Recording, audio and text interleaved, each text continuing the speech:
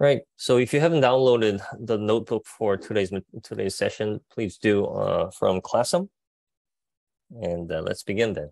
So as I said this Tuesday, we will be doing a bit of a practice on basic ML, basic machine learning, using scikit-learn mostly. So scikit-learn. So before we move into move on to PyTorch, which is purely deep learning library, which does autograd for you, um, we're gonna just you know be fam- get familiarized on basic machine learning and scikit-learn. You're gonna because even if you do research on deep learning, you're still gonna use scikit-learn from time to time. So it's a, it's a pretty probably a good idea to get get yourself familiarized to scikit-learn.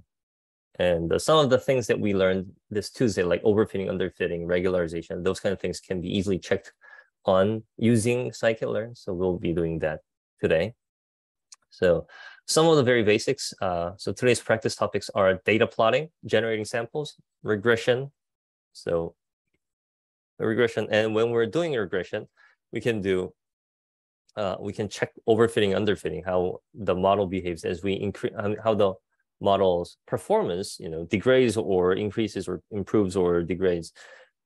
You know, with, uh, as we increase or decrease the capacity of the model, so we, if you remember the polynomial thing, so if we use higher order polynomial function, it is, you know, it tends to overfit, but gets a perfect training training a training error. So we can check that. And then we're going to move on to classification. After we're done with regression, we're going to move on to classification using uh, iris dataset. Oops, shouldn't have done that. All right. So some of the things that we're going to load, uh, import today, NumPy, matplotlib, and then sklearn. By the way, you don't need to get GPUs for this. Just, you know, just plain CPU resources is okay.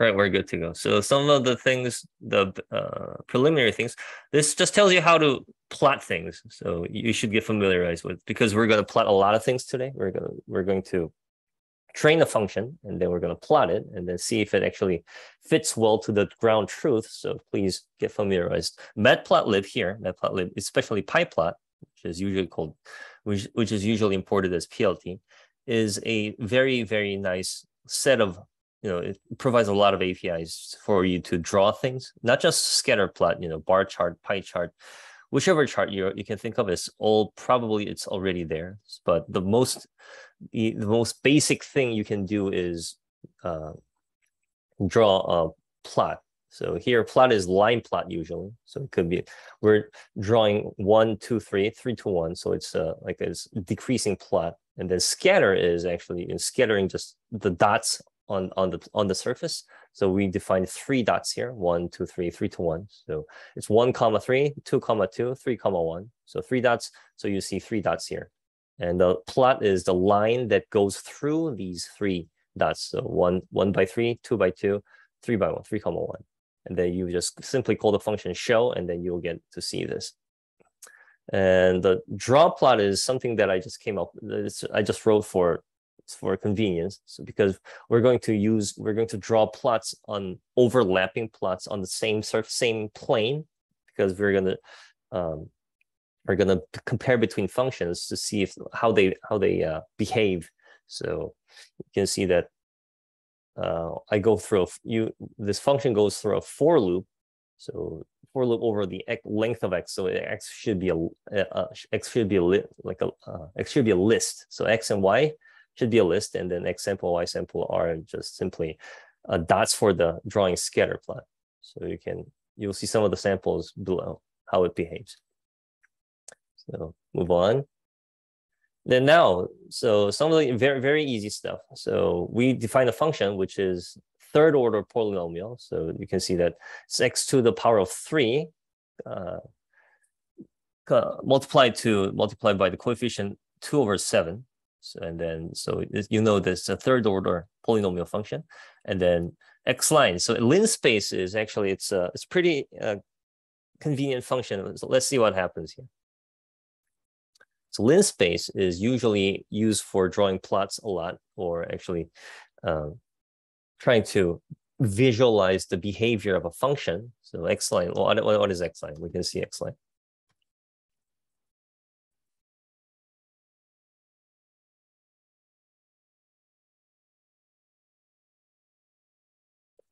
So you can see that x line is x line is just simply a hundred a hundred dimensional vector, one dimensional vector that spans from zero to 10, 0 to 10. That, that is why we call it 0, 10, 100. So this is the beginning, this is the end, and this is how many points we want between the beginning and the end. So we are going to feed this vector into a function, which is the foo function. We're going to feed this vector into a function. And then what do we get? We will get the y corresponding y's. So 100 different y values, right? So let's do that then. Draw a function, foo, using x line. I just said, I just actually gave you all the answer. So may, maybe, maybe a minute. Actually, not even a minute, probably. Yeah. So I just said that we're going to feed x line into the function foo, right? So we're going to get so that we can get a lot of y's. So simply just this, right? And then what we're going to do, so we can actually print y line before we even visualize, see what happens. And see, so uh, you can actually imagine how it will behave. It's a third, third order polynomial function with a minus at the front. So it's going to be like, like, like, like this, right? Uh, this would be, well, is it, is it correct? Actually, no, it will be the other. It, it, it will be like this, like this. No, I'm sorry. Well, actually, yeah. So we start from the positive and then we go through, we go to the negative. So it's going to be like this, right? And uh, how, would we, how do we visualize? We're going to use the plot function. So the plot function right here. So we're going to use that. So PLT uh, PLT dot plot plot um, x line and y line, right? And then we're going to call what do we call? We call this one PLT show. Oops, PLT PLT show. Then we get this function here. So right, it looks like like like this, uh, like this. So this is how this is the very basic way to just visualize any function you want. You define a function and then you define a bunch of x's that you're going to feed into the function, typically using linspace, and then you get a output corresponding output y, and then you just use call you just call the plot function, and then you just visualize, and that's it.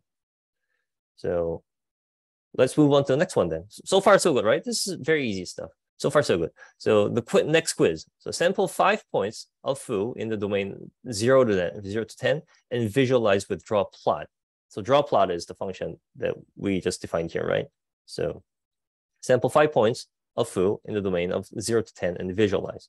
So how are you, how, how are we going to do that? Yeah, I'll give you guys one minute.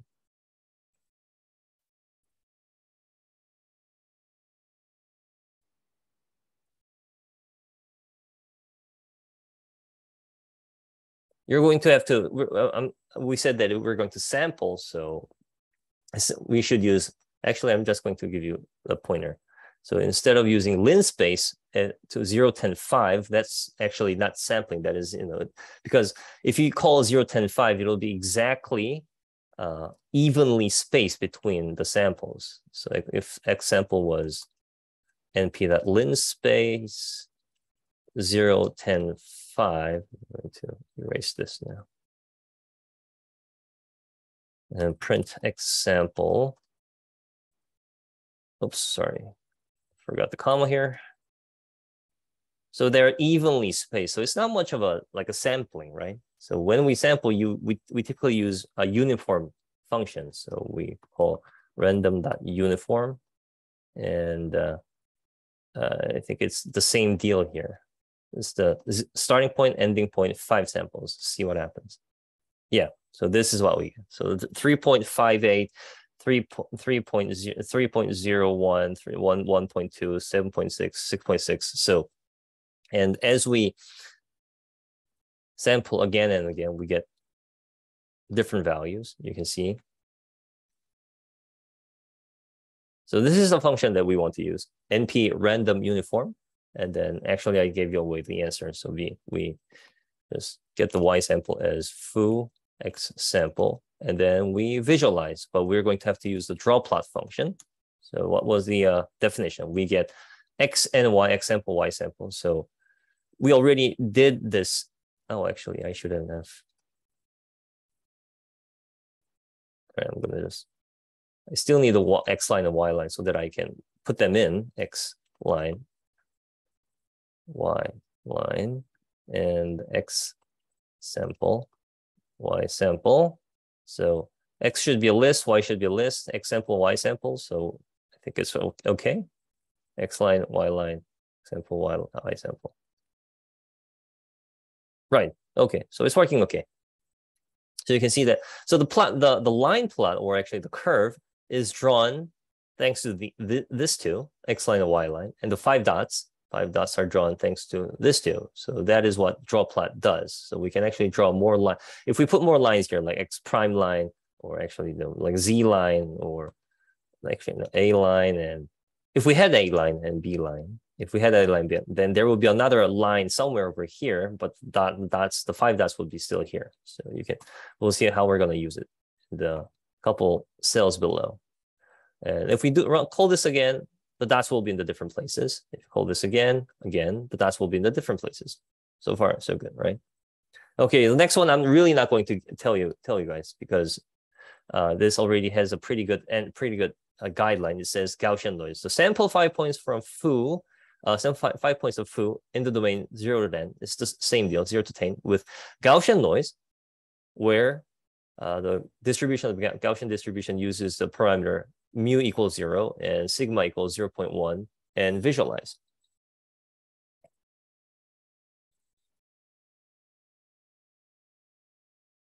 So you you guys pretty have a pretty good idea what kind of function to use you shouldn't use random uniform, right?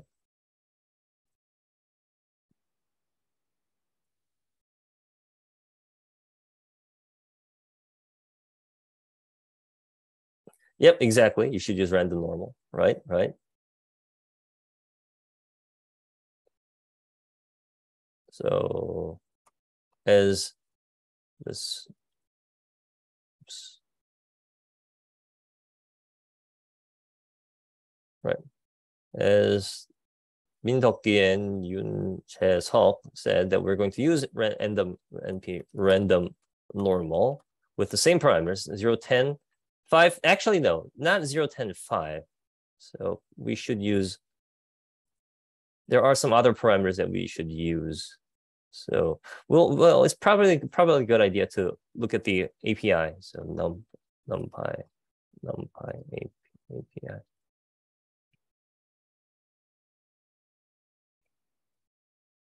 and search the uh, numpy np now random normal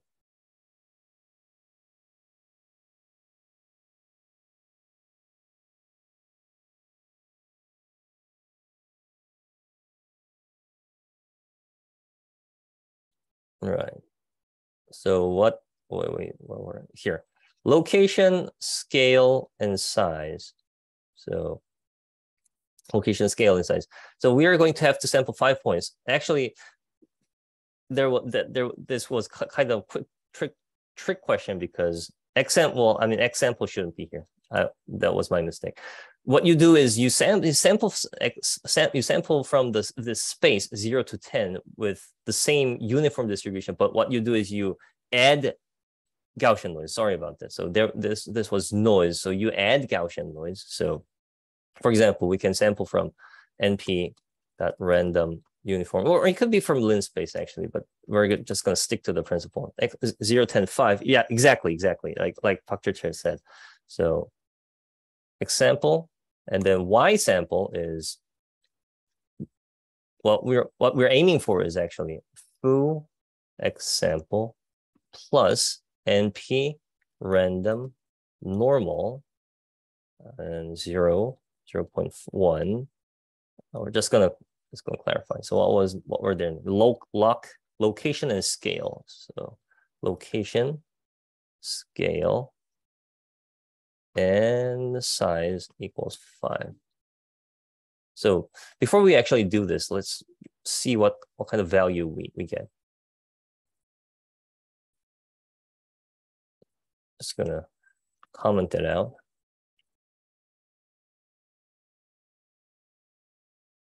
See what happens if we call this. So what we do is, what we're doing is we're drawing five samples from normal distribution, which has the mu of zero and scale, which is sigma, sigma 0.1, and five elements from it. So we get five dimensional vector. And what we're doing is we're going to add that to the Y sample. So without this, without, without sorry, without the second term, without without the without this term, it's the same deal. Oh, it's the same deal as before, right? Same deal as before. But what we want to do is we want to sample from a Gaussian noise. So we want to perturb the output y values slightly a little bit using a Gaussian distribution. So that is why we add here random five samples from random normal, which is Gaussian distribution. And let's see what happens. Draw.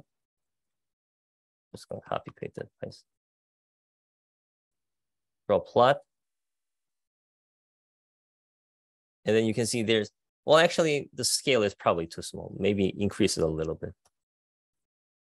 Then you can see that the now, I mean, we don't need to add noise to the X coordinate because X coordinate is just X coordinate. What we want to, where we want to add the noise to is the output, which are the y values. So you can see that now x is right here and the y should have been right on this plot, right on this, this line here. But now we've added as a little bit of noise. Now it's like deviating a little bit from, from the ground truth line here. And as we scale, as we increase the scale, you will see, you can imagine what would happen. You know, the noise would increase. Oh, then if we go for 10, then yeah, like real, a lot of noise. So probably may, maybe one is a bit more easy to deal with. Right, and there was a question. 만약에 NP random normal 0, 0, 하게 될 경우 하나의 노이즈 값이 보스캐스팅 되나요? 맞죠, 다 네, 정확합니다. 왜냐하면 이제 하나만 여기 그것도 이제 해보시면 아시겠죠, 당연히 이거를 만약에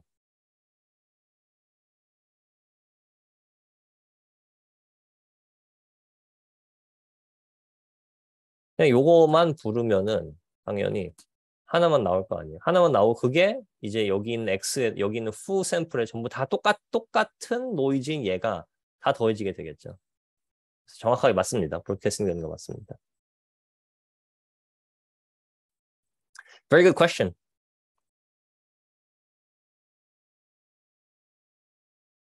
All right, we can move on then.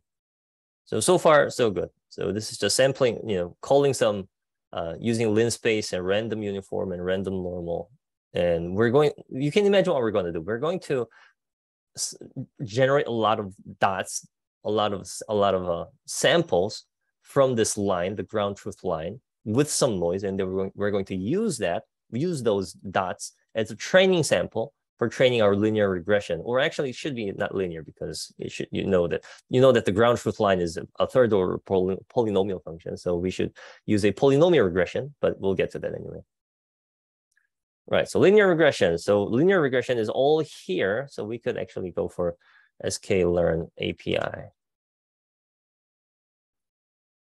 And then look for linear regression. And I guess it's somewhere in here, linear models. Right here, linear model. Inside linear model, there is linear regression. So we go for that right here. Right, linear model, linear regression. So that is what we're importing here. From linear model, we're importing linear regression. And typical usage is somewhere here. It's right here.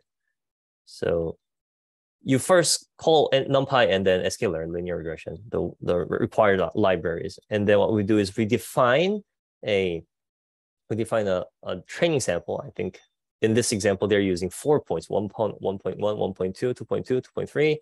And then uh, what are they what are they doing here? They're NP dot. They're doing a actually it's commented down, but I guess it was supposed to be some kind of a function, and then they do a uh, inner product between the two. and then they so basically they okay so i see. So y is a basically y is a output x is an input y is an output and then you do a linear regression. And the way you train your model is actually call a api called fit.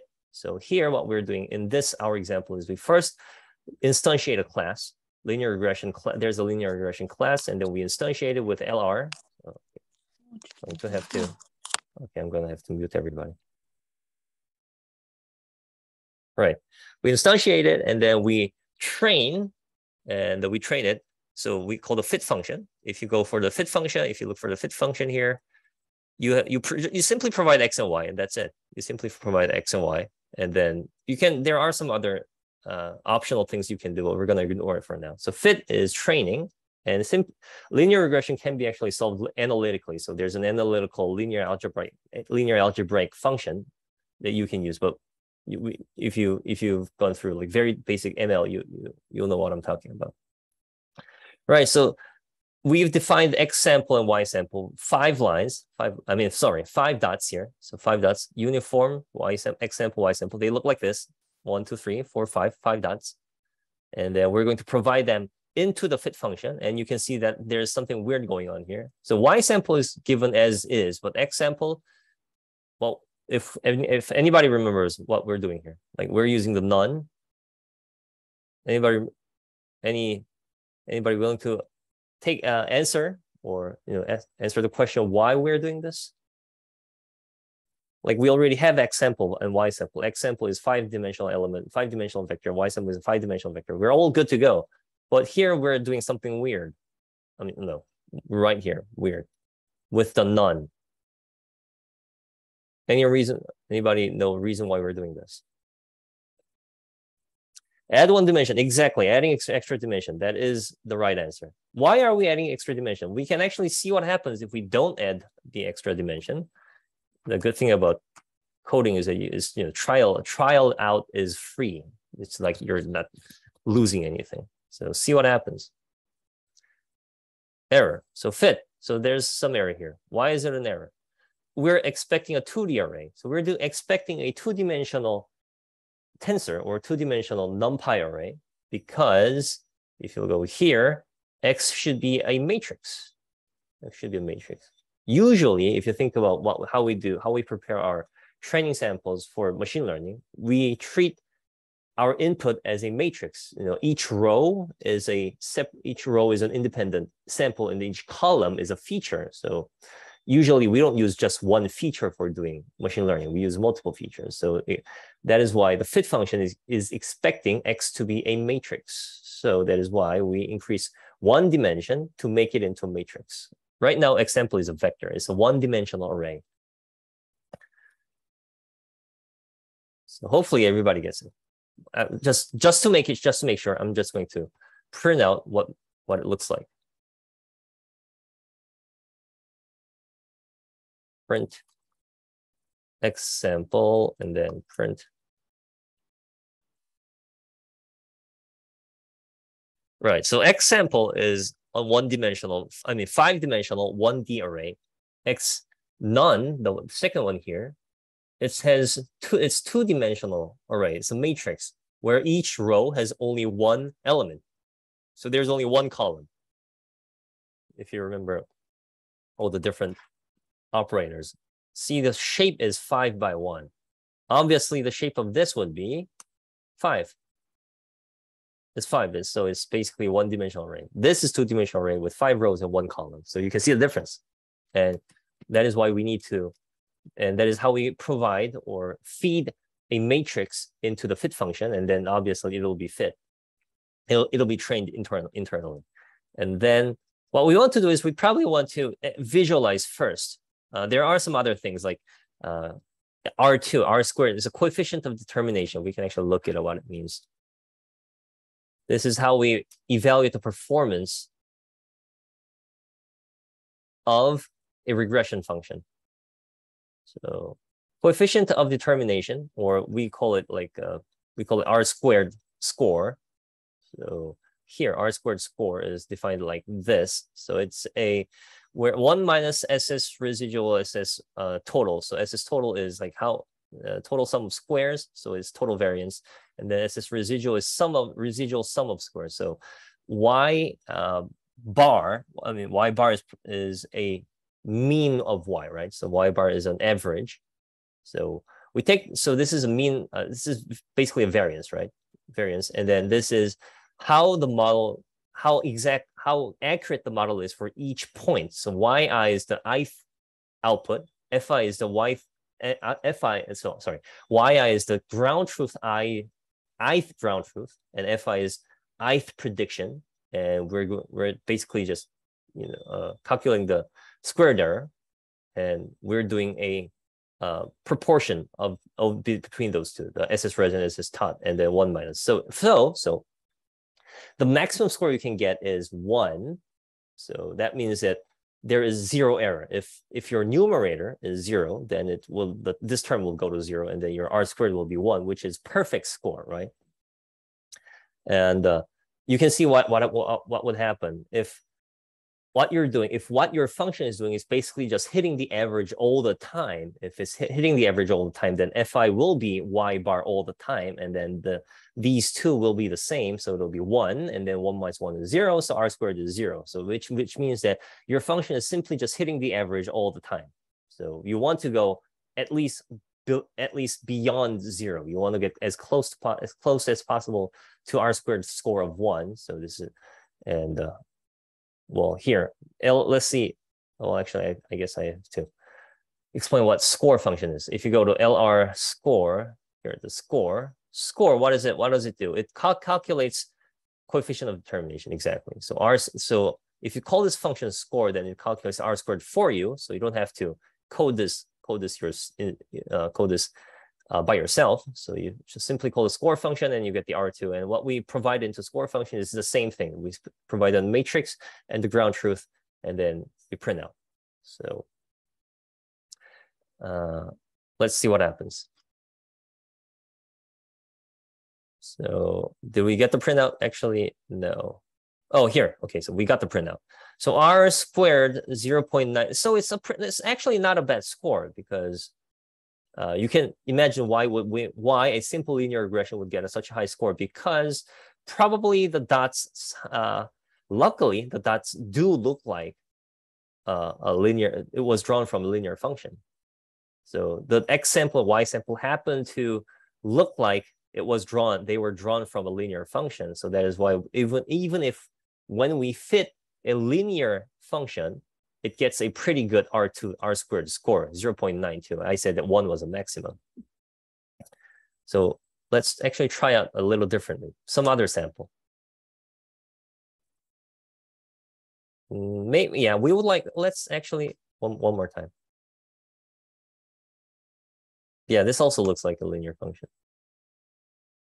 Yeah, this one, okay. So this one looks like a proper nonlinear, they were drawn from a nonlinear function, and then we're gonna use them here the same x sample and y sample from the previous. The good thing about, so if anybody's anybody's not really familiar with Jupyter Notebook, the good thing about Jupyter Notebook is, is that anything that you did in the previous cell, it is remember the is it is on the memory, so you can reuse them in the next cell without actually having to declare them all over again. So we're just going to reuse x sample and y sample defined from this cell here, and then we're going to plot reuse them right here and we're gonna fit it again and you will you can see yeah the r squared is, has now decreased from 9.2 to 6 basically 0 0.6 because now the samples look like they were drawn from a nonlinear function. So what's happening here? So after that after so this will be our evaluation metric. Instead of using mean squared error we can use mean squared error actually but before that we're going to use r squared uh, score and now we're predicting a single data point. So what we're doing is y hat equals LR predict x sample zero. And we're running into an error, probably because we this predict function is expecting a matrix. So if we go to the predict function, predict function, it is expecting a matrix. So, and we simply just fed, this is probably a one. This is a scalar because x sample is a five-dimensional vector and we're taking the first element. So that would be a scalar. So what we want to do instead is try to, oops, sorry, try to turn this into a what? into a 2D, uh, 2D matrix.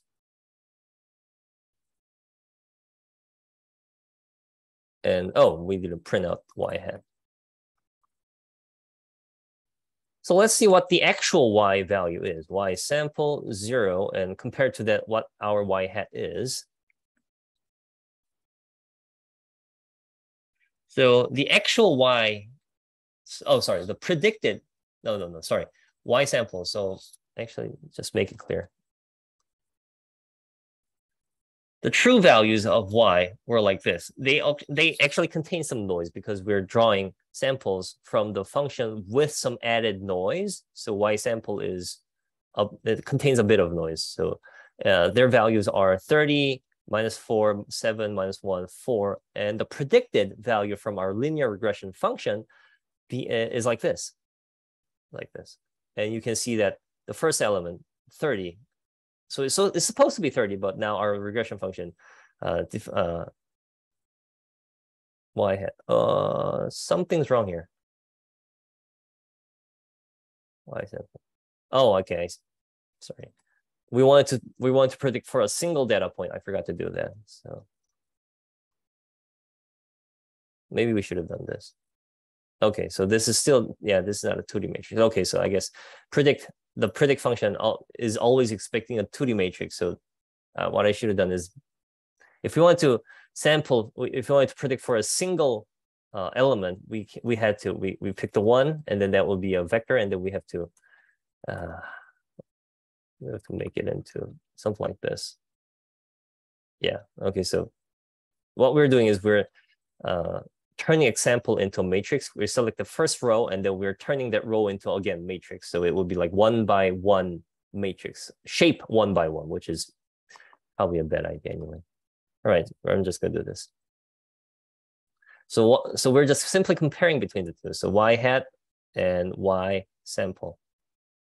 Actually, I'm not really sure how we can get values like this with our linear regression function.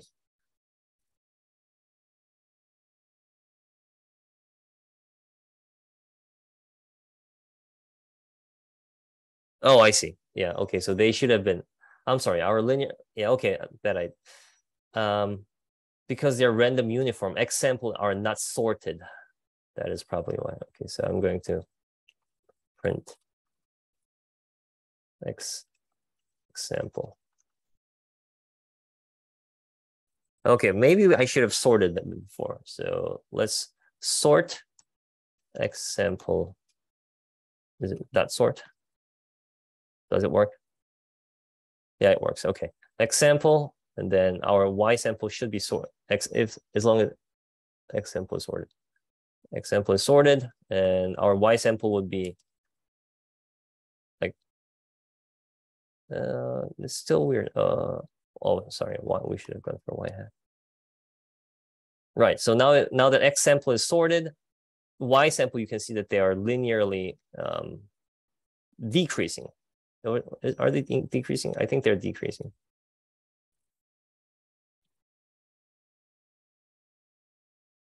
Hmm. Interesting. I thought that the fit function would behave like this, but now that you see here, it is behaving in a different manner. So while so before actually we start imagining things, we can actually visualize them. So please visual. Uh, well, actually there are two quizzes. One is calculating the mean squared error using X sample and Y sample. So forget about all these. Forget about. Okay, just to make sure, just let. Okay, I'm sorry. This I'm going to make things really simple by turning this into a linspace. Linspace five, and then Y sample will be exactly the same thing. So we'll have five dots here, one, two, three, four, five dots, evenly spaced. Then they're already sorted because we're calling from linspace. So X, X sample is sorted, so are Y sample sorted according to the X samples uh, order. And then we're going to train linear regression function and then, right. And then the, now, yeah, now they're working probably correctly. So let's use these uh, X sample. Uh, we're going to use x sample, y sample, y hat, and then we're going to calculate mean squared error using x sample, y sample. and y hat, which is basically well, the quiz says use LR predict, but LR predict is we we we actually did LR predict and to store their values in y hat. So you all you need are these three elements to calculate mean squared error. So let's do this. I'm going to give you guys maybe two minutes. Two minutes, yeah, two minutes.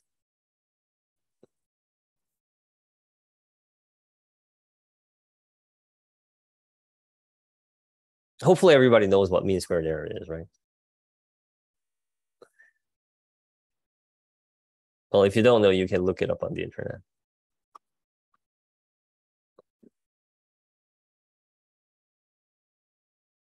It is right here. Mean squared error.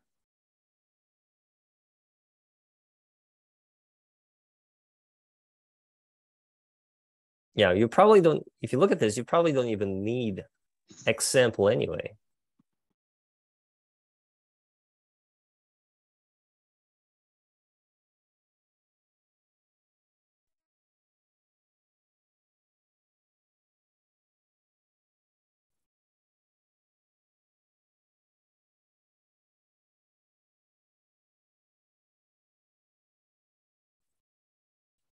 So what is the mean squared error? So I hope everybody's using linspace because if you had, so we can check check our answers together. If we were using NP random uniform, then everybody would have different X samples and Y samples, so we can compare. So pre, please use linspace 0, Uh, oh, actually, I guess because of this randomness, our MSEs would be a bit different.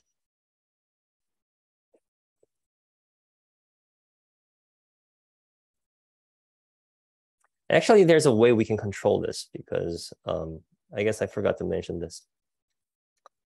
Um, any random function in NumPy is governed by something called NP random random seed. I'm not sure if it's the same random seed. Random, what are the difference between the two?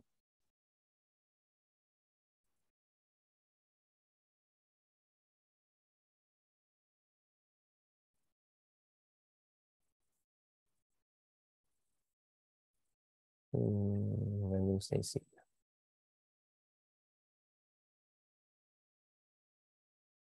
Oh, this is going to be a legacy function. Okay, so that's probably not a good idea. Right, if we use random seed, this is also a legacy function. I'm not sure. So what's the uh, modern way to do this?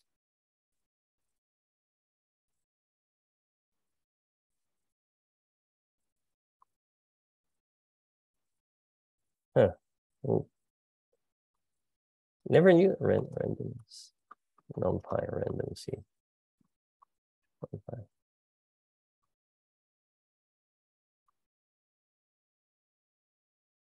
Yeah, it is random seed. I'm not sure why they call it a legacy function. Anyway, there's a way we can, oh, actually there's already an answer from Wang Yuzeng Nim. Np dot mean, well, we can actually copy paste that.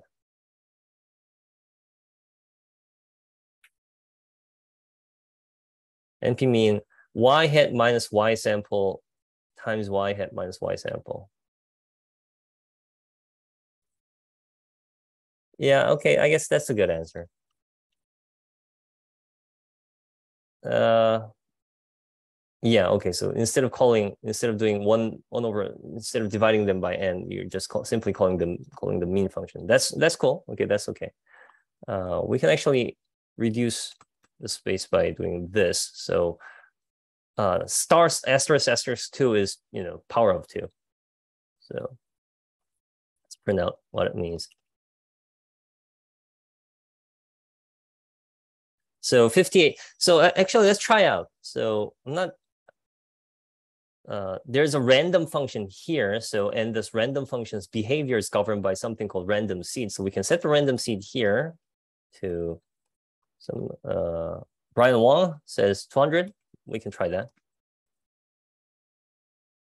So Brian said uh, random seed 200, and then we got the new set of X sample and Y sample. And then, well, X sample would be the same. And then we're doing a we calculate the MSE here, and it happens to be 47.64. Brian, did you get the same number?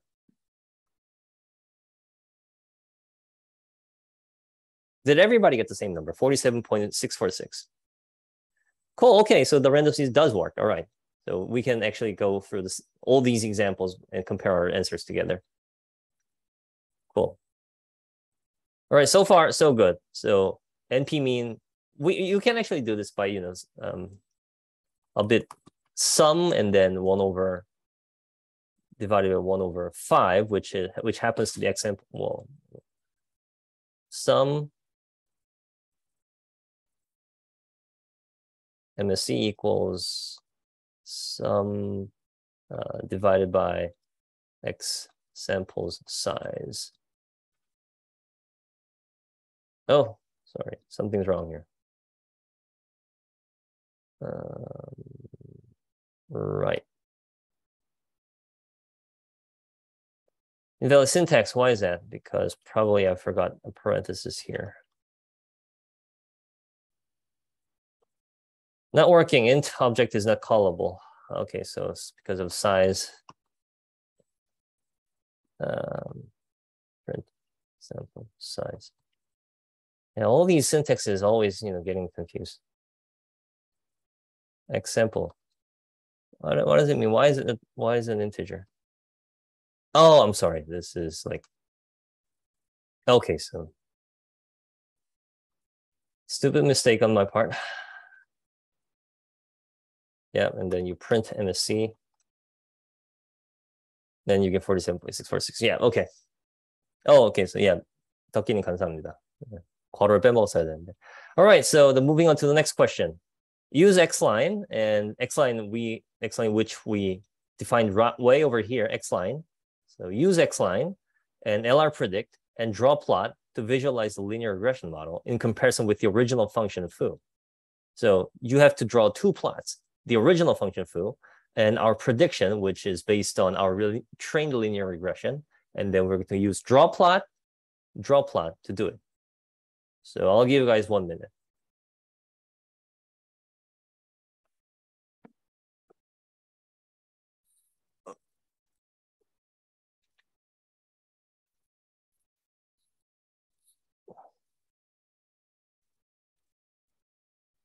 For starters, we're going to have to define a new y line.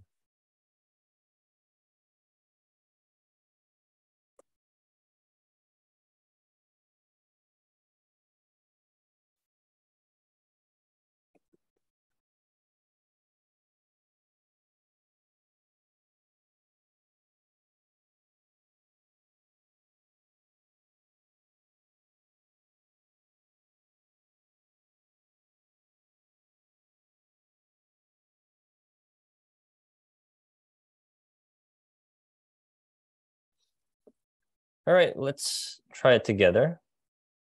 Um, as I said, we so we already have y line, which is here. We already have a y line, and we want a new y line that we that we that is based on the linear regression that we just trained, right? So uh, we need a new y line. We're gonna call that y pred line. Pred line is simply just lr dot predict x line and x line needs to be a matrix, right? So hopefully this works. And then, oops, what we do is we draw plot, draw plot with two and x sample, y sample. And we put x line here and x line here. We put y line here and y pred line here and see if it works. All right, it does work. Okay, cool. So what we're doing is we're putting, as I said, we have we're using a list as an argument in the draw plot function because we want to draw multiple plots at the same time in the same on the same plane. So what we're doing is we're providing x coordinates for the first, x coordinates for the second plot, y coordinates for the first, and y coordinates for the second plot. So you can see that the original function is blue, and then the, the linear regression the linear regression function that we just fitted was uh, the orange, and you can see that it is missing by a lot. There's like a lot of error here, a lot of error here, small, very small error here, a lot small here. So it, it is doing a, like its best to fit a five points that were provided, which is probably impossible because five points were drawn from third order polynomial function, and all we are using is first order function. So there's no way the first order function can properly do its job. All right, so that's why we move on to polynomial regression. So the way that polynomial regression works in sklearn is there is no separate polynomial regression library. Like, you know, like there's linear regression library in sklearn, but in sklearn, there is no polynomial regression library. What you do is you actually um, convert your features into a polynomial form and then train linear regression on top of it, which is basically the same deal the, so hopefully everybody understands. You convert your feature into, into a higher order polynomial, higher order space using polynomial function, and then, then your features will be a polynomial feature. Then you fit a linear regression on top of it. So that is how you achieve polynomial regression in the setting of sklearn. So that is why we borrow or we, we import something called polynomial features. So polynomial features, what, what, what does it do? We can go look it up. Polynomial features. Polynomial feature is, it, it just as it says, it's generating polynomial features.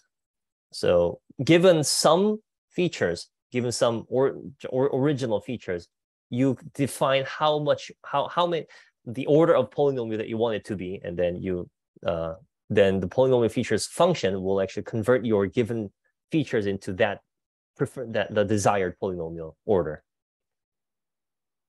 So we're going to use that to try out second order, third order, fourth order, fifth order, sixth order polynomial functions to fit the five points here. So we start with degree two. So we call instantiate a poly polynomial uh, class, polynomial features with degree two, and we're going to hold a poly. And then here we do fit transform. So fit transform is go we go here, we see what fit transform is right here, fit to data, then transform it. So fit transform transformers, well, this is not the, that transformer. Fit transformer, which is the polynomial transformer, to x and y with optional parameters, fit, fit params. Well, we can forget what the fit params. And then we get a returned transform version of x, which is the, po now it'll be a second order polynomial function. So let's see what happens actually. When we call this, let's see what happens. So the original x sample and compare that with this, oops.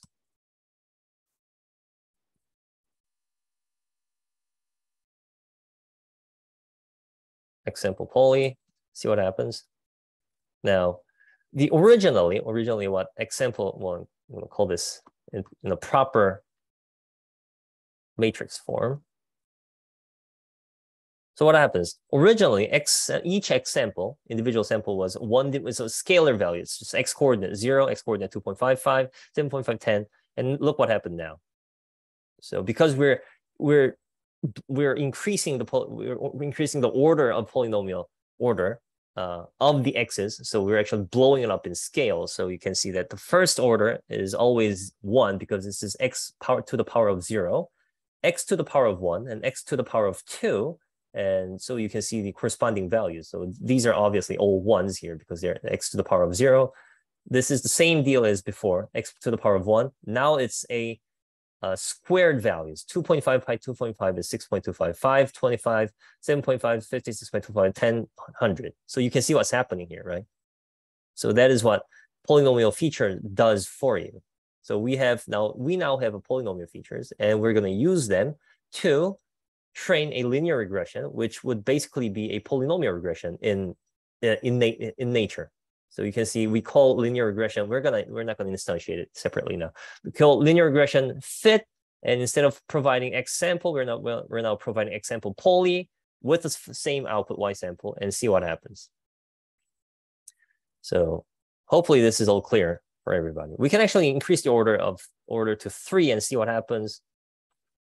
Oops, that's a typo here. Now there should be four, so x to the power of three. To the power of three, so five becoming 125, 10 becoming 1,000, so it's working correctly. But well, let's start with two first, and then C. So visualize polynomial regression function comparison with foo. So it's the same deal. Draw, use draw plot to visualize the new linear, well, this should be a polynomial regression, PR. So please try out yourself. I'm going to give you guys one minute.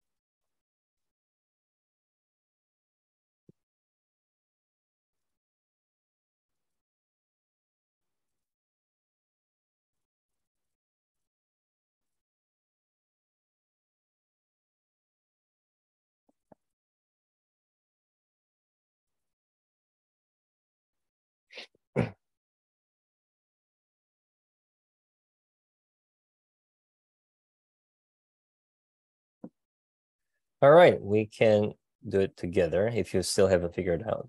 So we want to use PR predict first because we want to we want, we're visual we're comparing between the true function and the the train function. So what so PR predict PR PR line PR predict uh, X sample poly and we have the true, the true line is still y line, right? So we are going to just call draw plot. Oops.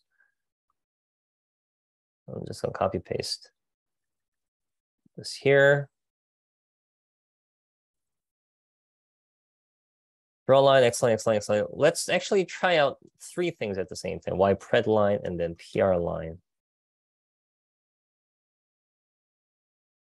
Uh, something wrong here.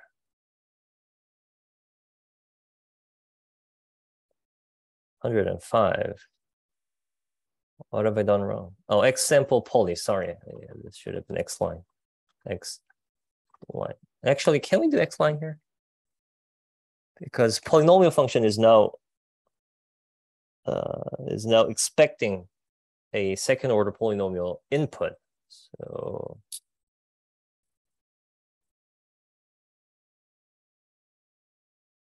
probably we need to transform uh, line. No, actually, we can actually try it out, see what happens.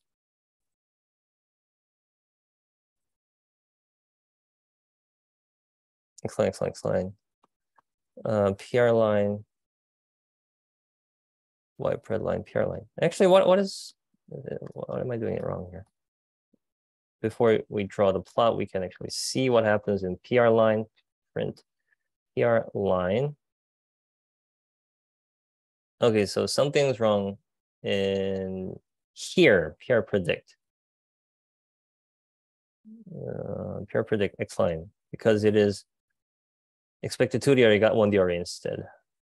Oh, right. X line should be like this. X is one feature. Yeah, okay, so it is expecting three features. Um, so we need to prepare a separate x line then. So x uh, x polyline equals x polyline x polyline. We put x line instead and cx polyline and uh, x x x poly line line, and then we have PR line, see if it works. And it does work. Okay, cool. So we have a proper PR line now, and then we can use draw plot, X line, X line, X line, PR line, right? Exactly. Okay, cool. So the orange line here is uh, linear regression. Blue, I, the green line here is second order polynomial function. So it should actually look like like like very very very uh, uh, like um, very far-reaching convex function. So if I do I have an annotator here? Okay, I do have an annotator. So if I draw, it would look like like this, some, something like this, so like a very, very widely reaching convex function. But it's not actually doing a very good job though. You can see that it's barely fitting these five points. So it's probably not not doing a good job. And if you actually, if you're, if you're, you can actually calculate the R R two squared. I mean R squared score, the coefficient of determinant, and see how it is performing. Or you can you can calculate the MSE, but you can imagine that is not so much better than the orange line, which is linear regression. So what we're going to do is we're going to increase and decrease the degree of polynomial functions. So uh, if we set it to three, see what happens. Okay, I'm just going to not print them out anymore. Now it is showing a perfect fit now. Well, it's not perfect, but it is like almost as good as the real. So uh, you can see that if you remember, the Y samples drawn from the true blue uh, or, drew, or, or original blue function was added with a bit of a noise. So it is that is why the dots are a bit deviating from the true ground truth function blue, blue line here. And inevitably, I mean, it, it is unavoidable for the for our polynomial functions to actually know that there is a noise. So it's, it's just fitting, okay, it's just fitting as is. So it is actually going through all the lines pretty much perfectly, pretty much perfectly. And if we had increased it to four, see what happens. Yeah, same function. So four is okay. Five. Five is deviating a little bit. So five is now, you know, like until four, like fourth order polynomial, the shape looked pretty much similar to the ground truth function blue, right? But now when we go to five, it is now not so much, not as not as similar as before. And then if we go to six, yeah, now it's like deviating by a lot. So you can see the underfitting, overfitting phenomenon here. Until if we had used degree of one or two, it was underfitting. If we were, when we were using degree three and four, it was like a perfect fit. Well, I mean, degree three would be perfect, but degree four was acceptable. Degree five was deviating a little bit. Deviate, degree six is now overfitting. You can see that they're just trying to hit all the dots, the five dots, very, very perfectly. So if you actually calculated MSE, it would be like zero. Or if you calculate the square R squared score, then it will be close to one, like 0.99 or something. So it is hitting all the training functions, very, very uh, training samples almost perfectly. And by doing so, it is missing the true function, the blue true blue function, because the and this is in, inevitable because we actually sample the y samples, y values with a bit of a noise. So it is actually trying to hit all the noisy samples, and that is by doing so, it is missing the true ground truth function. And now it'll it'll poorly generalize. For example, if we sampled another another sample from the ground truth function here, then it is going to miss by this much, this much. Same deal as we go to seven or eight or 10. Now it is like showing a really weird behavior now. This is right. So as I said, it, as we discussed in the material uh, this this Tuesday, the remedy for the remedy for handling uh, overfitting, there were two solutions. One was regularization. The other was increasing the number of data set, increasing the size of the data set, or increasing the number of samples. So let's see if actually increasing the number of samples help. And how do we do it? We sample from, we sample a lot more. Let's sample maybe 50 instead of five. We sample 50 samples. Oops, I did something stupid here. Right, just it's 50. Okay, we sample 50 dots instead. Okay, I'm doing something wrong here. Uh, operands could not broadcast the shape. All right, the size should be, okay, so we're just gonna sample size 50. Sample size, sample size. Right, so a lot of sample, a lot more samples than before, but with a bit of noise, you know, and then see what happens here. Now you can see it's working. So like before, when we had only five samples, degree six was already deviating by a lot from from the the blue the blue fu- function, the ground truth function. But now that we have 50 samples, it is almost showing a pretty perfect fit. So in order when we when we have 50 samples, in order to in order to overfit, we probably need to increase the degree to maybe I don't know 50. Right now it's overfitting. Degree 50 is probably not a good idea. It's actually behaving really weird. It's behaving worse than before. So maybe 15. Yeah, 15 is, you, you can see a slight deviation now, like very, very slight deviation, like around here or around here, but it's showing, still showing a pretty good job. Right. So that is one way to deal with uh, deal with uh, overfitting is simply increasing the number of samples. But as I said in Tuesday, not always easy to increase the number of samples because it usually needs human annotation. So we're going to go back to another solution, which was regularization. So regularization, there were two forms of regularization. There was L2 regularization and there was L1 regularization, if you remember.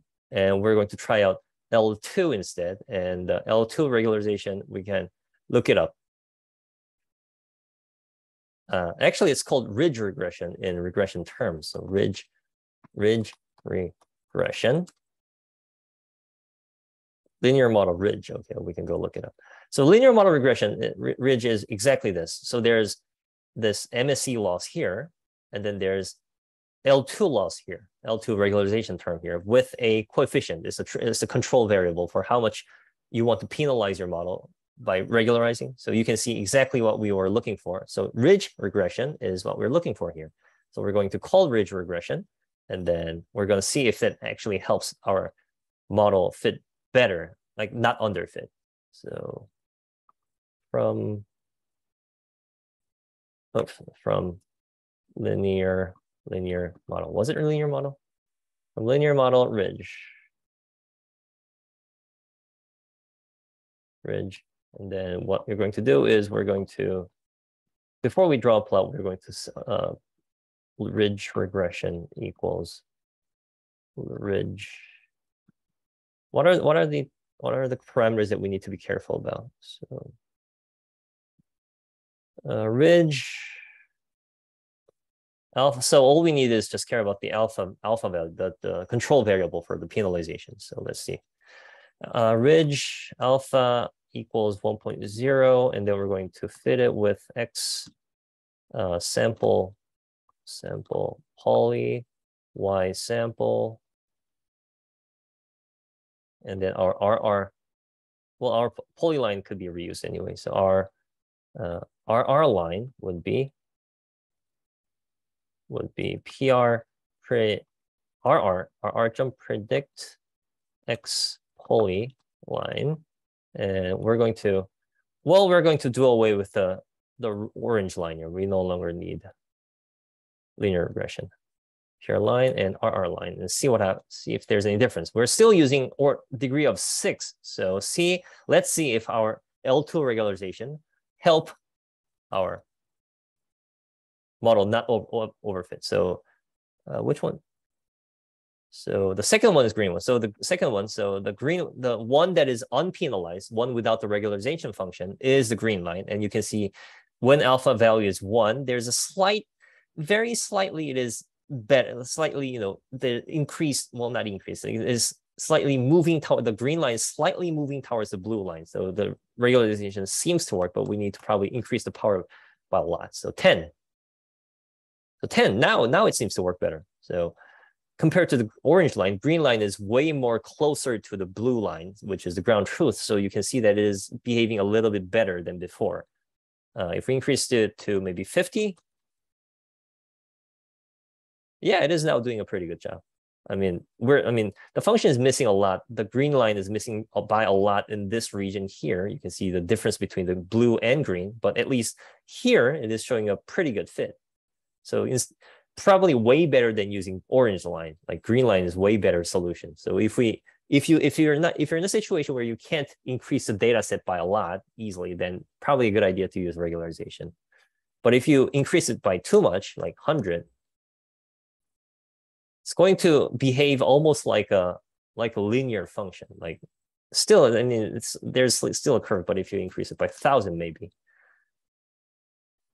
Okay, so, well, not not pretty much as a linear function, but it is like behaving in a definitely some lower lower polynomial function. It's definitely not sixth order, sixth sixth order since since it's six. So this is not a sixth order polynomial function behavior because we are we are like constraining, restricting its movement by a lot, by like power of 1000. So we're, you know, as I said, increase the regularization function, regularization term helps you decrease the hypothesis space. So now it's uh, the, the room for the green line to move is way more constrained than before. So, um, and what are the best values to use for, for, for the trade-off, for the control, for alpha? I mean, there is no there is no clear there is no like definite solution. You have to actually see and how it behaves and when you have a train and valid set you can tune your hyperparameter like alpha values to see if uh, your function fits well to the behaves well against the validation set and then you fi finalize your model and then you do the test set as i said. Right so every hopefully everybody understands what the underfitting overfitting you can actually visualize underfitting overfitting right here. Right, moving on to the classification now. We don't have, we only have 20 minutes to go actually. So we're going to use something called iris dataset. Iris dataset is a flower dataset, iris dataset.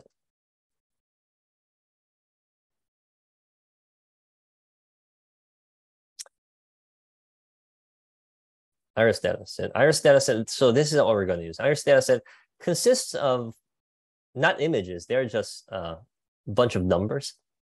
It's a multivariate, so there are a lot, lot of columns. Number of instances 150. So there are this uh, when you load it, when you load it. Actually, what I wanted to do really was download by yourself the iris dataset from this website. There should be a link somewhere. Is there a link? Yeah, there's so yeah, you can download it, data folder. So you can download it, and then I wanted to do a little bit of pre-processing in the dataset to load it into matrix form. But since we are running out of time, we're just going to simply call it from uh, sklearn. I think sklearn has, was it NumPy or sklearn? Like either of those already contains uh, iris dataset. Oh yeah, it was sklearn. Okay, I'm just going to copy paste it. So instead of doing this, we're just going to simply load it from sklearn. See if it works. So copy paste this, please, in your that in your. I'm just gonna put it in the chat chat box. So copy paste this and then load the iris data set. And when you visualize it, and you when you actually print it out, what it looks like, X shape and Y shape. X is a matrix of 150 rows and four columns YR, actually we can just simply print out Y. Y is a integer, so it, they are just specifying a category or class. So there are obviously with 0, 1, 2, there are three classes, three classes of flower actually. Iris is actually a type of flower. iris가 한국말로 붓꽃이잖아요. 그래서 붓꽃의 종을 세 종이 뭐 있는데 뭐 있겠죠. 근데 세 종을 이제 분류하는 태스크가 될 겁니다. So the task is you're given a some feature for each iris subtype. So iris is a is a type of flower, and there are three subtypes. I think there the name of the sub subtypes are.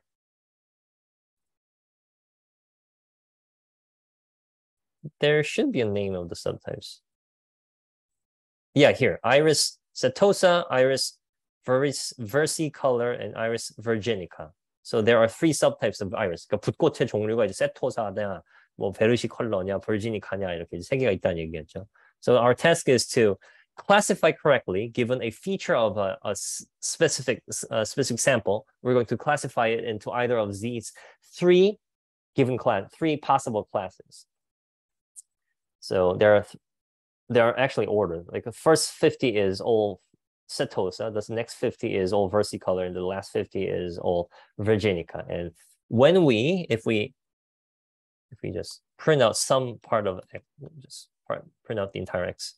You can see now that consists of 150 samples, 150 samples, and each, oops, each sample consists of four columns, four columns, and each column has a meaning actually. If you go to this website, each column means like there are four columns.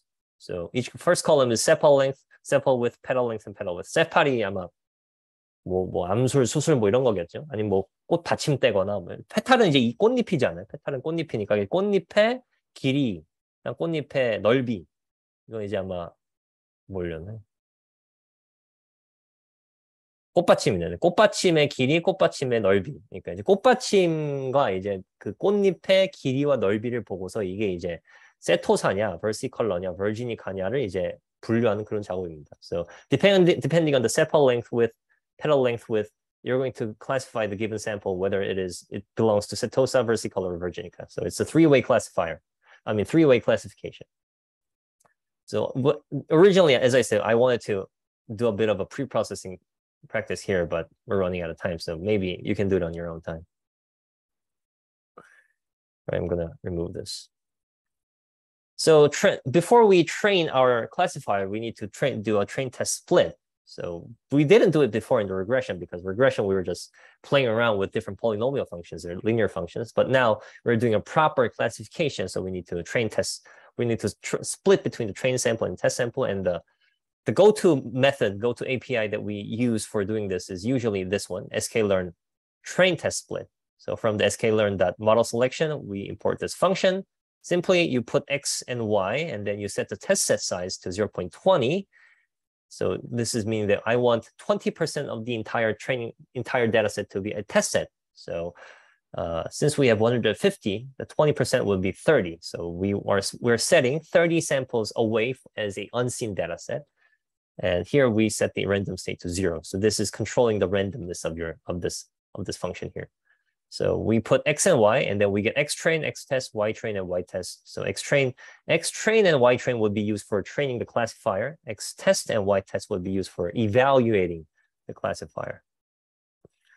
Right, so we run this.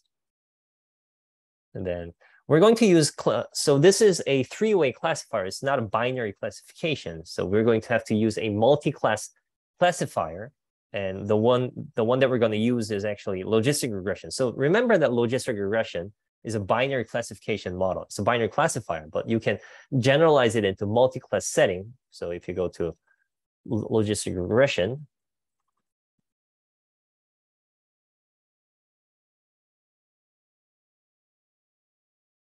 where is logistic? Right here, if you go to logistic regression, you can actually train it for multi-class setting. Where's the fit function?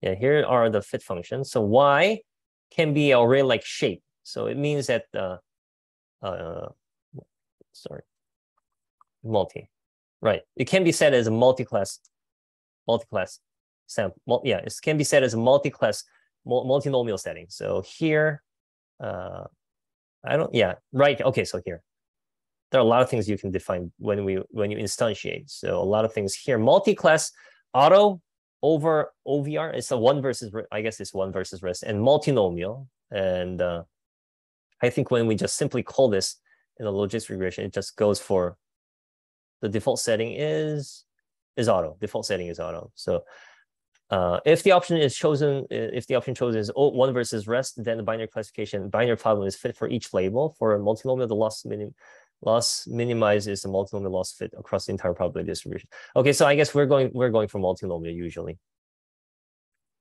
Right.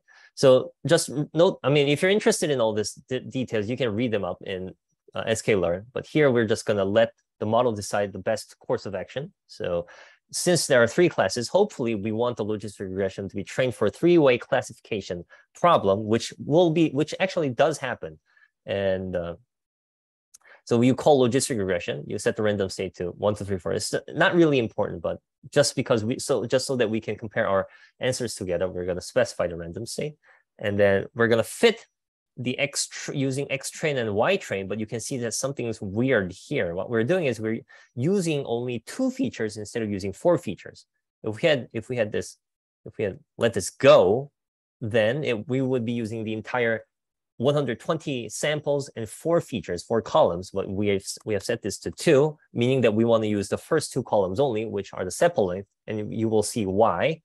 So when we train with the entire thing, entire thing, it'll train nicely. There would be no problem. And then we can actually, we once we've trained it, we need to evaluate it. And the way we evaluate it is you are, there are some functions that we can use. Score, score. So we can use the score function to see it returns the mean accuracy. All right. So since our samples are overly overall well balanced, there are 50 first class, 50 second classes, and 50 third classes. They're balanced, so we can use accuracy as a good measure. So let's see. Logistic.score x train. Uh, sorry, what, what are what is yeah? It's expecting a matrix and a y. X train and y train. The score. Oops we need to print it out. Oh, it is actually being printed out automatically. So when we use the entire columns, the training accuracy is 0 0.96, 96%. And the test accuracy, we can test it out.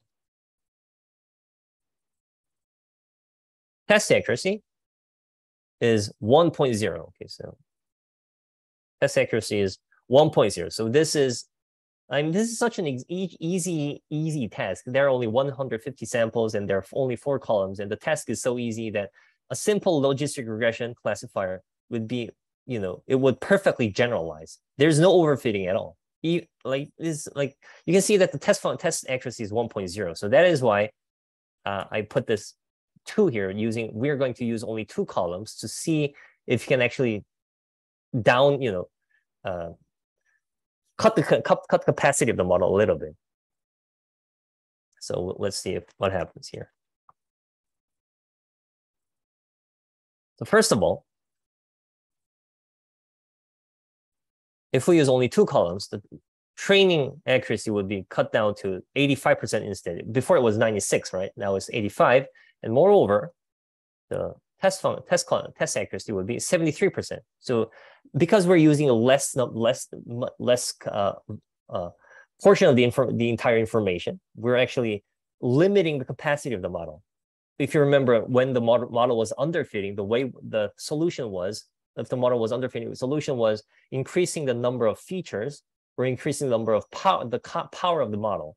And here what we did is we decreased the number of features using. So that is why we, we're intentionally cutting down the capacity of the model and trying to make it underfit so that it doesn't perfectly solve the problem.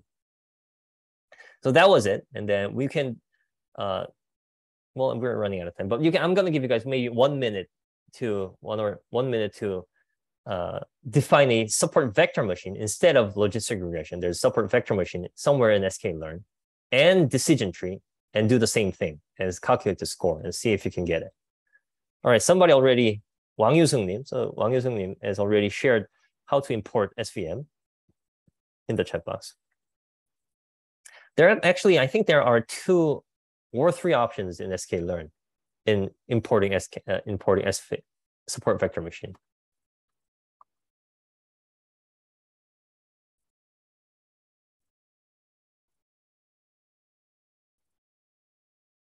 Yeah, there's linear SVC. And then there's actual SVM.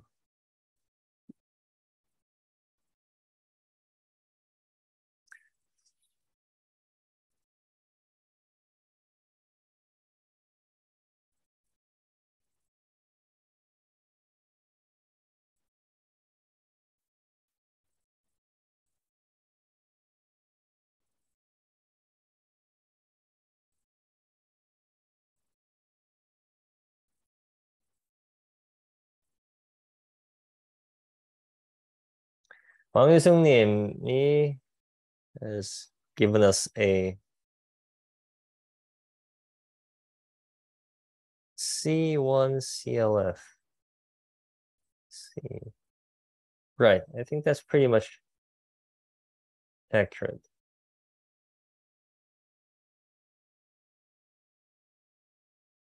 So if you go to SVC, um, SVC, when you instantiate your class, there are a lot of things you can define.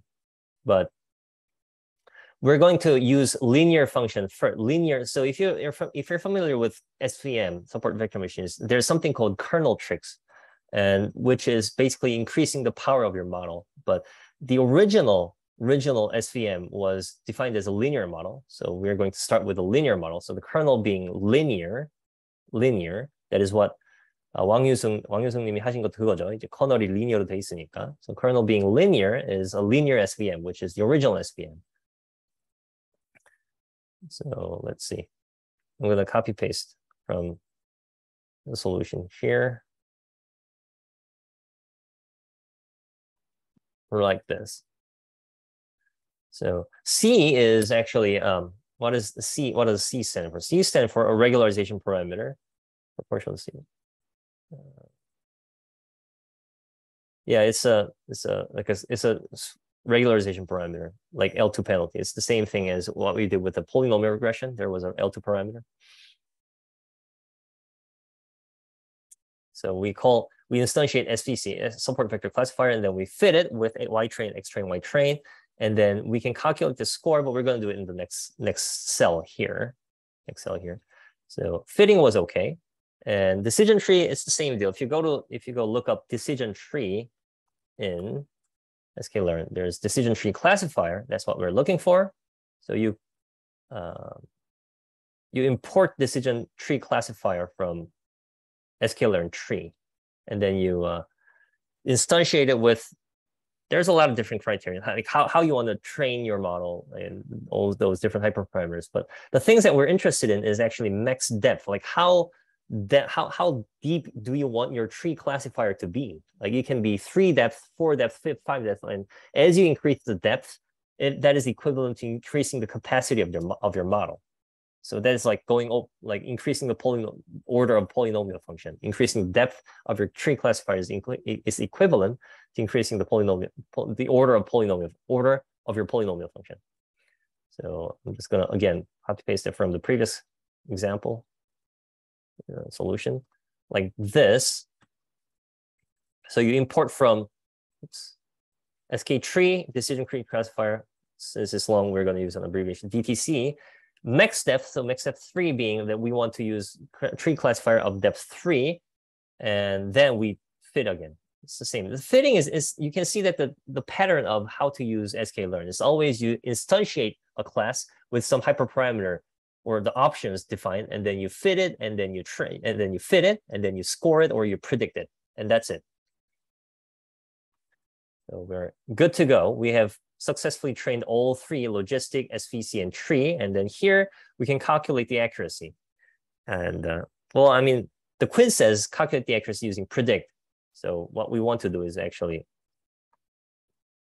for example, in SVC, we predict with x x test 2 and that would give us the y preds y preds or y y svc and then using y there there should be a true y y test y test and minus y svc and then we calculate the mean of it That would be probably it, if I'm correct. Let's see. SVC predict, does predict give us the actual class? Perform classification, so right. So for one class, for performing classification, that would give us, before we do this, we can print it out. Print Y, SVC. It does give us uh, a hard number, one, zero, two. And before that, as logistic regression automatically was converted to a multi-class classifier, so, so did SVC. Support vector machine is also a binary classifier, but just somewhere in the in, in, in this class, it knows how to recognize a multi-class class, classification test because our Y train consists of zero, one, and two. So there are at least three classes. So the model the the class knows that there are three classes, so it is automatically automatically converted to a multi-class classifier. That is why it's behaving as we want it to be. So since we have this, we can print the accuracy, which is minus 0.6. That is weird. Okay, so not sure why this happened. Um, um, maybe I should have, oh, sorry. I should have done this instead, equal. And the accuracy is 73%. Let's see if this code is the same as SVC score, which is equivalent to calculating accuracy in another way. X test, X test two, what is this? Test two and Y test. And they're the same thing. It's the same thing. So we can calculate, actually, let's go, let's use score function to calculate everything for logistic and for logistic, logistic, and D, was it DTC?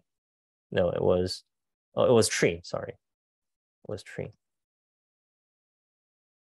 And looking at that, unfortunately, tree doesn't generalize as well as the other two classifiers. Logistic and SVC, they get 73% test error. I mean, 73% test accuracy. Uh, tree, not so much. So it maybe if we had increased the depth of the tree, would have performed better. No, unfortunately not. So probably something not really uh, friendly. I mean, the maybe the task itself or the data set itself is not very friendly towards the tree classifier.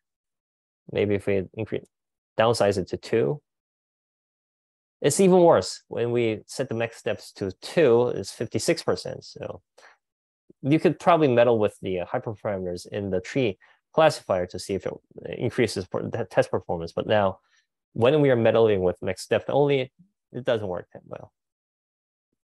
Right. If we had some time, we could actually visualize with this type of a like a nice vision.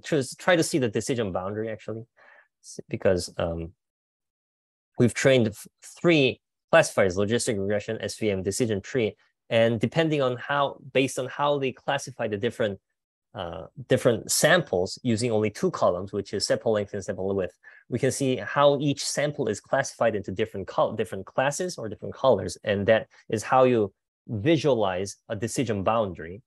Um, unfortunately, we don't, we're running out of time, so I can actually just copy paste the original uh, the answer code. Before we do that, you can actually go through this phase where you meddle with hyperparameters, especially with SVC, because here we use kernel linear, but if we, we could have used radial basis function, RBF, then it would be increasing your features into an infinite dimensional space, and that could that could have increased the performance of your model if it does.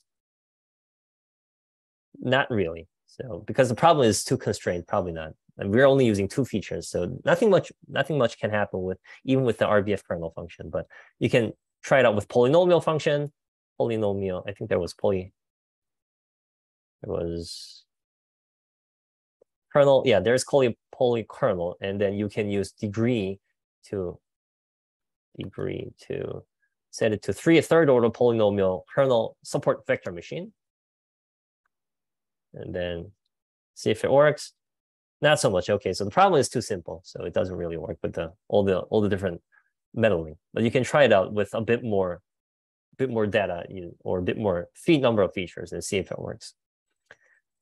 Before we end, I'm just going to copy paste this and see, just show you what, what we had in mind if we had some time. Uh,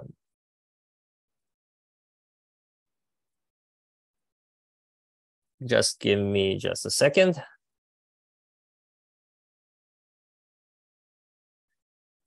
I'm gonna ignore this. I'm to copy paste it all here. So you can see what's happening with a logistic function, SVC function, tree function. We're getting the predictions out of them, y logistic, y SVC, y tree, and then we're drawing four subplots, one, two, three, four, with a scatter plot and see what happens. So now you can see that the ground truth should have been like this. So so this is like probably sepal length and this is sepal width, the first two uh, features. And then like the sample here should have been, well, I mean, I can see the code. I can see with, let's just call this like first class, yellow second class, cyan is like third class. So the, like, for example, this, this like, there are some second and third class, third class is all mixed up in this region. So it is probably impossible for linear classifiers to probably uh, properly correctly classify them. And that's what happening here. Like logistic regression is simply just drawing a line like this, like one line here, one line here. And the SV, SVM, same deal, like one line here, one line here. Uh, decision tree is probably doing a little bit weird. Like there's like cyan here. So it's like drawing a line like, like, like, like, like drawing like line like this because it's a, it's a tree classifier. So but the actual answer is this, this. So that is why they're all missing out. Like this is 73%, 73%, 60% accuracy because probably because of this one. And, and like these here, these. Like logistic and SVM are behaving in the same way. Decision tree is behaving in a different way. So that is why it's missing out on some samples and test accuracy being 60% instead of 73%. Right. Um, so far, I think we've covered probably all the material that we tried tried to cover. This one should have been a, like a like a practice for you guys, but we're running out of time, so I just gave you gave you guys the answer. So hopefully that is okay. Question from 이혜현님. iris 데이터를 홈페이지 다운받았는데 디렉토리 에러가 안 나게 구글 콜 그렇죠. 당연히 구글 콜랩에도 업로드 해야 됩니다. 여기 보시면은 이쪽을 보시면 여기에 여기 폴더가 있잖아요. 폴더. 폴더를 클릭하면 이제 이런 게 생기고 여기다가 드래그 하면 돼요. 그 다운받으신 데이터를 드래그 하면은 여기 이제 샘플 데이터 안에 여기에는 네, 여기는 없는데 뭐 여기 샘플 데이터 안에 드래그 하시든 어디든 하여튼 드래그를 하시면은 이제 그거 이제 액세스 할 수 있게 됩니다. 그러면 이제 여기서 예를 들어서 여기에다 액세스 여기다 드랍했다 그러면 이제 거기서 아이리스 데이터를 바로 이제 홀을 할 수 있는 거고요. All right, so this is the end of the material today. Uh, any question before we end?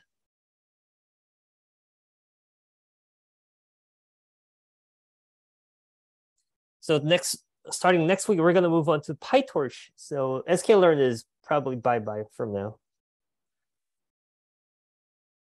So hopefully because we're not going to delve into sklearn anymore, but sometimes we're going to use sklearn functions as we move on throughout the course. So, and as I said, we're not going to explain all these sklearn details anymore. So please be very familiar. Please just do the practice, do the practice session on your own. Try to go through all the examples and try to play around, you know, play around with the options and how you, how you can draw plots and that kind of stuff and get really familiarized. And then we can move on to PyTorch without any further, you know, uh, obstacles. Right, so I'm gonna wait five seconds before we end.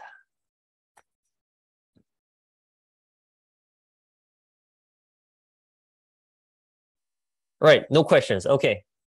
Thank you guys. I'll see you guys next next Tuesday, right? We're that's after the Chuseok. So yeah, happy holidays everybody and I'll see you guys next Tuesday. Bye-bye.